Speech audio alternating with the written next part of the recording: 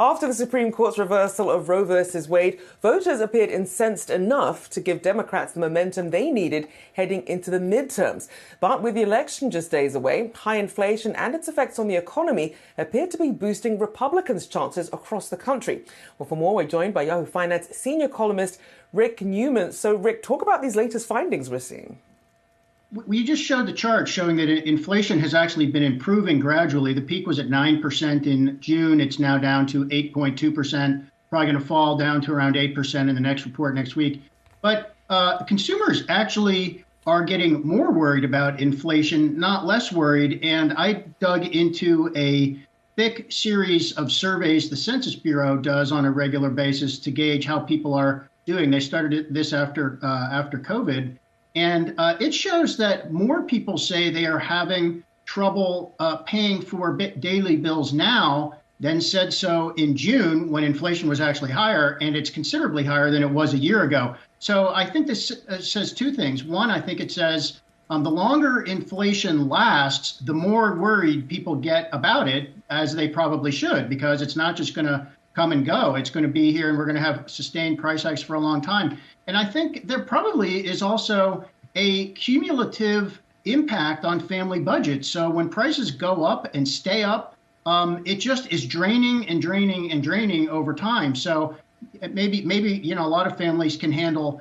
one month of higher than expected costs, but when that goes on month after month after month, um, it gets tougher. And the same survey by the Census Bureau also shows that more people now are tapping into savings or putting everyday expenses on credit cards. So I think this is why you have seen voters, even as gas prices come down, other bills are going up, and voters know that. I mean, they're seeing this every week when they pay bills. And uh, this is why Biden just cannot catch a break, even though other parts of the economy, notably the job market and the numbers we got today, are pretty good. So I think, uh, I mean, we have seen Democratic odds of holding on to Congress just deteriorating uh, for the last month or so. And barring a miracle, they're going to lose either one or uh, both houses next week. Yeah, and Rick, speaking of this momentum that we certainly have seen with the GOP party here as of recent weeks, there's an Axios report out earlier today saying that Trump was potentially eyeing an announcement of the 2024 of his 2024 presidential run on November 14th. I'm just curious just your reaction to this and just what this signals here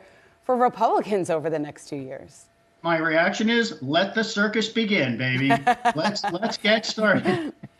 Uh, this is this is not necessarily good for Republicans. Uh, so there's a lot going on behind the scenes here. First of all, uh, many people who are following the never-ending Trump spectacle think there's a good chance uh, the federal government could bring charges against him for uh, for his mishandling of classified documents down at his home in Florida after he left the White House. He was not supposed to have classified documents. He did. We that could have been quite alarming. Um, and the it, Trump uh, probably, as it's almost part of his legal defense, you can imagine uh, that he wants to make himself a presidential candidate uh, if the Justice Department is going to go after him, so that it makes it look as if it's purely political, which it is not, by the way. He's also facing a very serious lawsuit in Georgia over possible election fraud.